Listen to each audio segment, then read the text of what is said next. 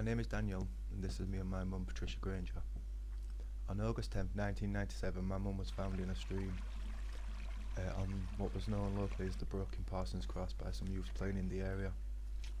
This year will be 22 years since her murder. 22 years her killers have been walking free. She was found just over a mile away from home. She had been murdered for nothing more than someone's sick fantasy. She had a mental age of 12 and would become friends with anyone who would give her the time of day. This person had betrayed her, that abused that trust. She had no self-defense marks uh, on her body, meaning this person either frightened my mum to the point of not wanting to fight back, or they're not too unconscious, or she trusted them and they're still hurt her.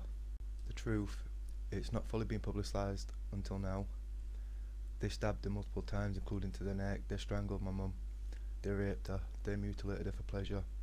They mutilated her nipples, removing one and attempting to remove the other.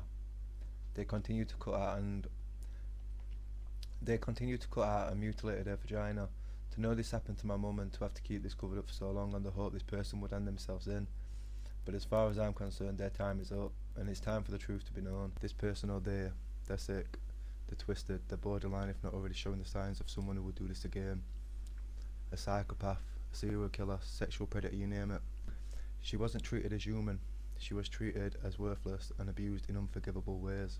We know my mum was alive 21 hours before she was found in the brook, although she had been missing from home for nearly a week. We still don't know where she was staying that week, although we have possible and confirmed sightings that week in the Parsons Cross and Northern General Hospital areas. Did you see my mum that week? Did she stay at yours? Whatever the reason for not coming forward before, I don't care. We just need information like this to help solve this and let my mum rest in peace. If you do know anything, or even think you do, please do get in touch. Even if you got in touch back in 1997, South Yorkshire Police haven't been great with retaining my mum's property, and with it now being a cold case, evidence could have been lost. Please come forward.